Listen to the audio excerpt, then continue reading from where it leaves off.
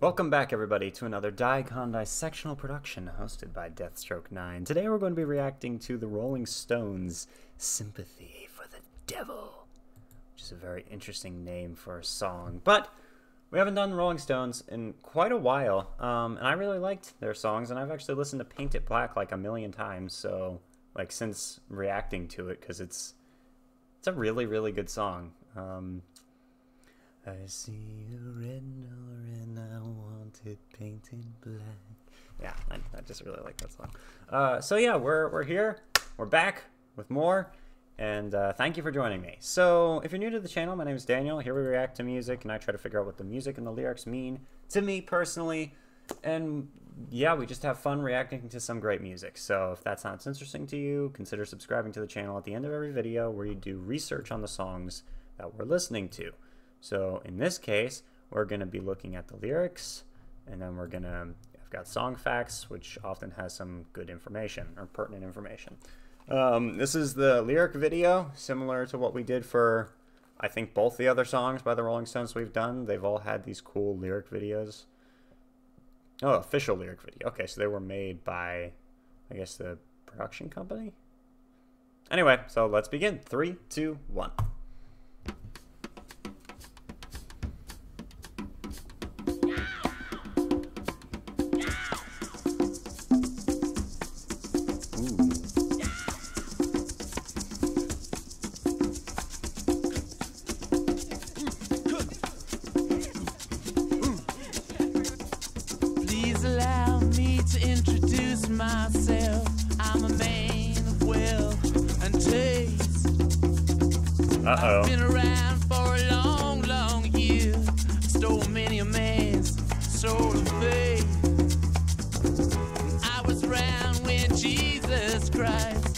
Moment of doubt and pain.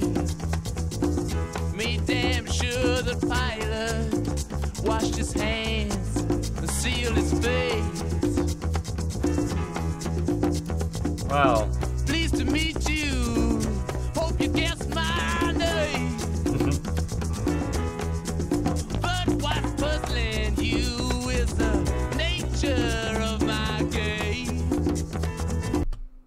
Pause it. Sorry, but this is a very interesting concept for a song. Let's keep going. You the nature of my game. Love the bass line. Stuck around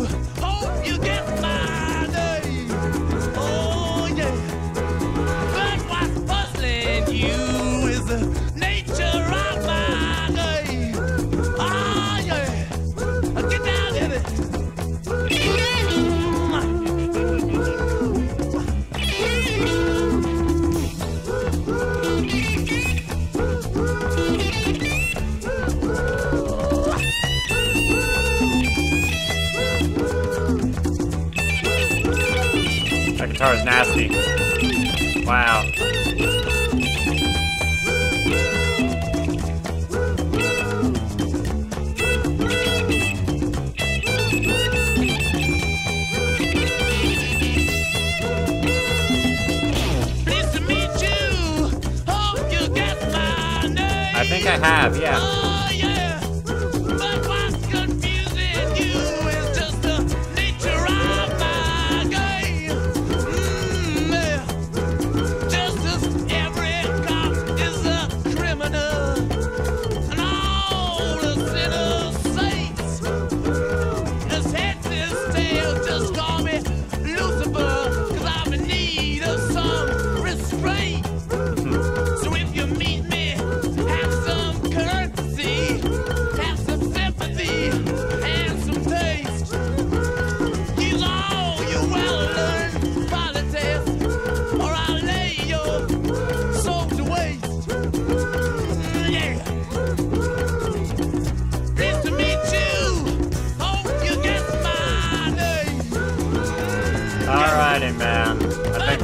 Think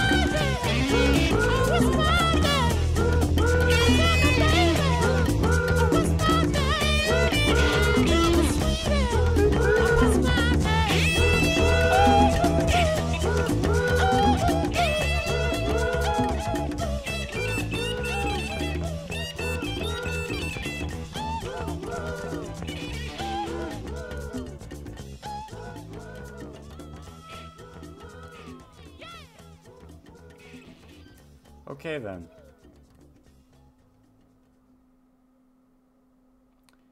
Um, I've mentioned before I'm a Christian. Just kidding. I mean, well, not just kidding, but um, yeah. Okay, so it's very interesting because um, the main character in this is, uh, and obviously, again, like I just mentioned, I am a Christian. So when I'm hearing the devil supposedly talking to me, and he's like, "Have some sympathy," you know, or not, not, not that line specifically, but like other lines like, um, "Show some courtesy. I'm a man of taste."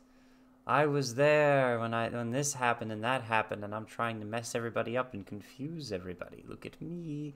What's my name? Let's play a game. You know. Um, then I'm like, okay, so he's it's like the deceiver, right? Um.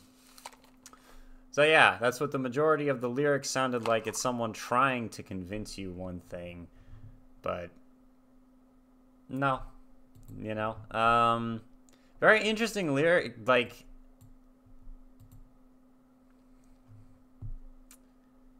So I've mentioned before uh, that my family mostly only let me listen to uh, Christian music until I was a little bit older, and then my dad started playing me like metal music. Okay, so that was the majority of my musical knowledge is contemporary Christian music. Um, I've said that before, uh, but there's something that certain Christian artists do, which I don't know, just annoys me kind of every time they do it, where they write a song from the perspective of God, and then they sing it as if they're supposed to be God.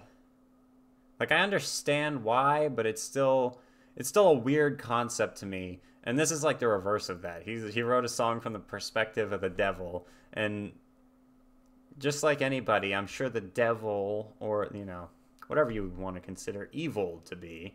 Most, pe- in fact, if you're not a, if you're not religious, you can just apply it to anyone who is evil, evil people or people with ill intent, most of them do not think they're the bad guys.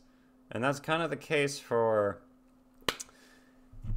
pretty much anybody who does most bad things. You're going to have some type of excuse, they have some excuse or justification for it.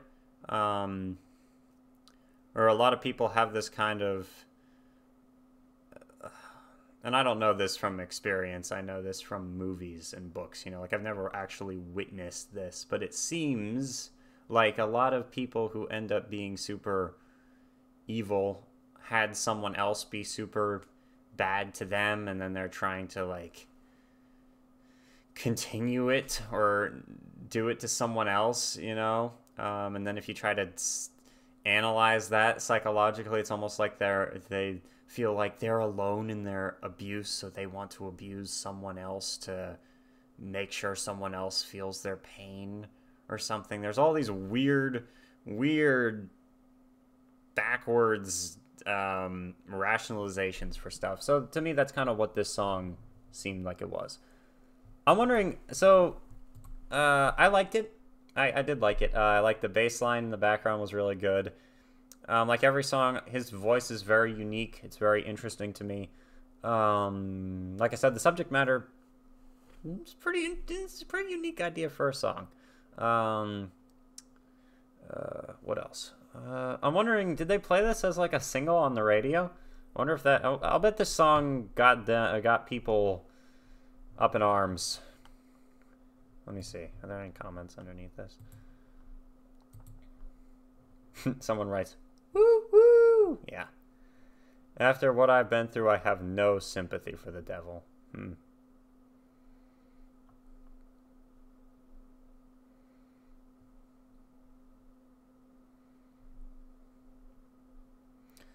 Okay, way too many people commenting about a video game. It's so annoying when that. I mean, I guess it's not really that annoying. I've done it before, actually. Um, when uh, a Styx song was in a song that was in the show, uh, The Umbrella Academy, and I saw someone comment under the song saying, "Who heard this in the Umbrella Academy?" And I was like, "Oh, I, I referenced the show."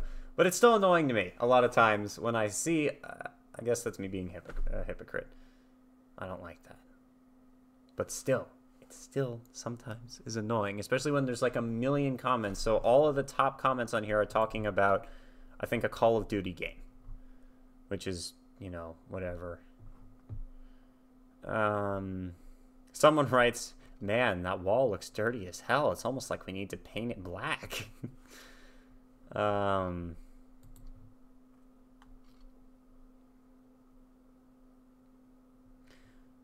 the chronolo- the chron- chronology is another one bites the dust. Stairway to heaven, knocking on heaven's door, locked out of heaven, losing my religion, hell's bells, highway to hell, sympathy for the devil, hell ain't a bad place to be, shout at the devil, the end. It's kind of funny, actually. So wait.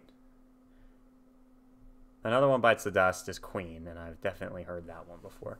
Um, so you die, then Stairway to Heaven. Who sings Knocking on Heaven's Door? It was a song I learned on the guitar fairly early on. I don't know if I've ever actually listened to this song, though. It's been covered by multiple people. Then I don't know anything until Highway to Hell and Hell's Bells, I think, are those that's both ACDC. And I don't know the other two either. Shout at the Devil sounds familiar too, actually, but I don't know who sings it. Anyway, okay. Um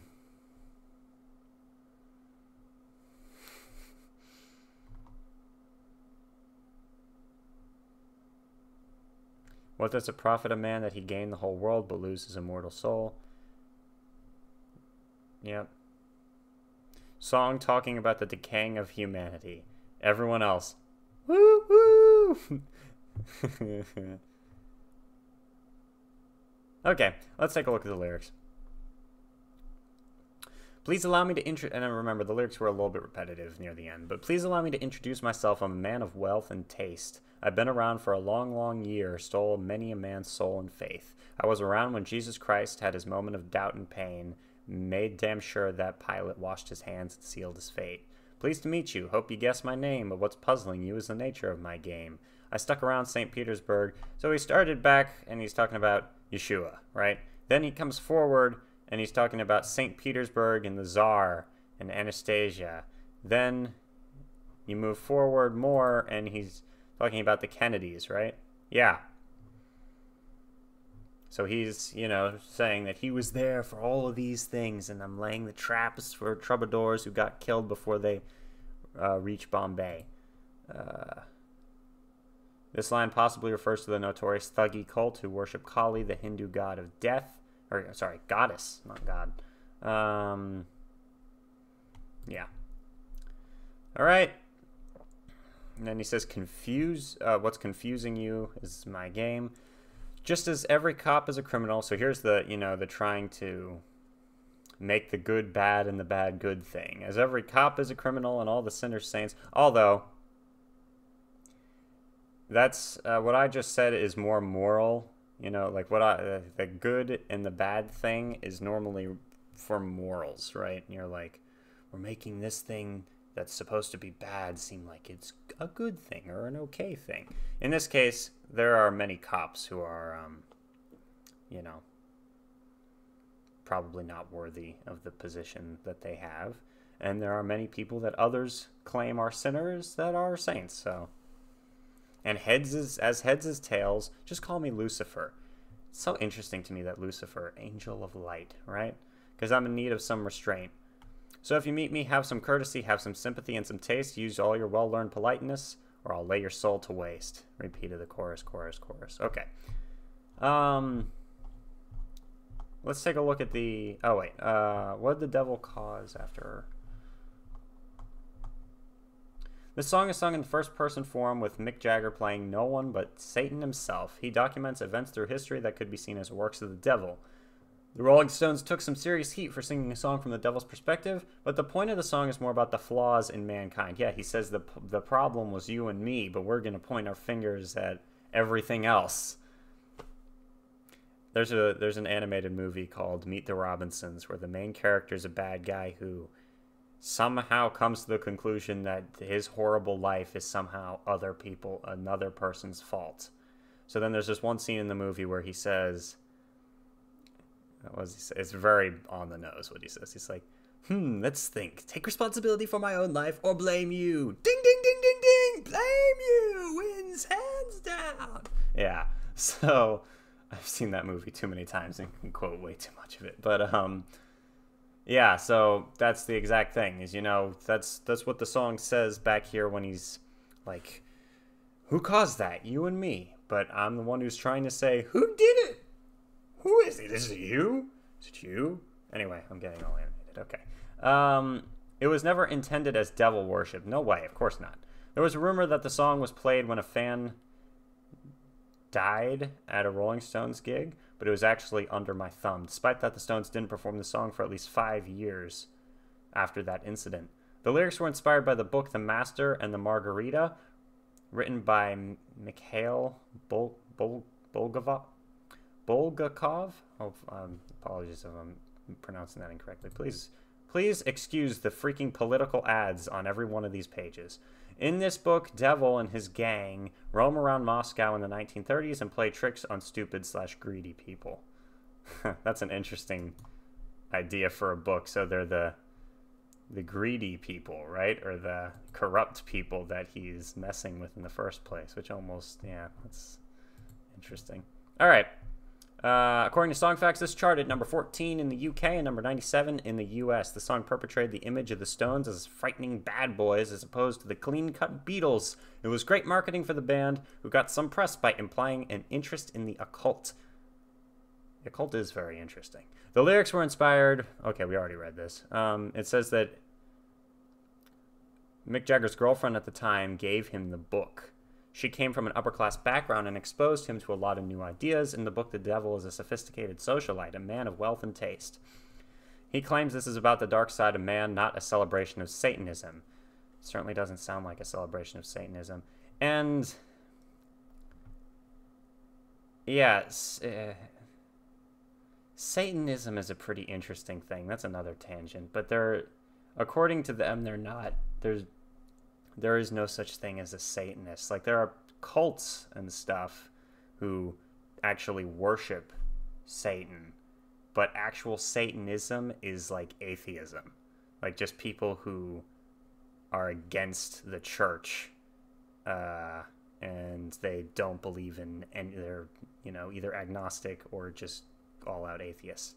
So it's pretty interesting. I did not know that until uh, someone pointed it out to me, and then I looked it up and was like, "Oh, interesting." Um, so anyway, the original title was "The Devil Is My Name."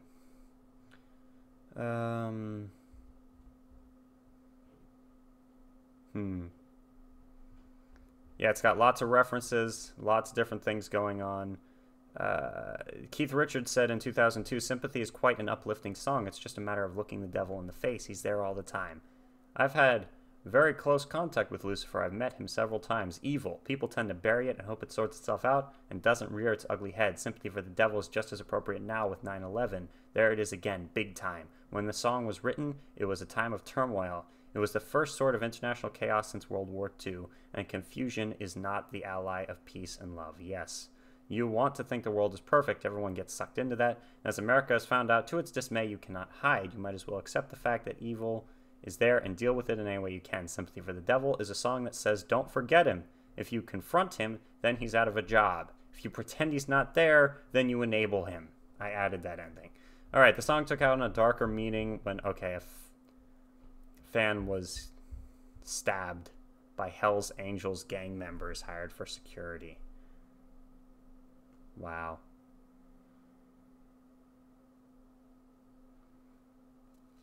They that's crazy. All right. Um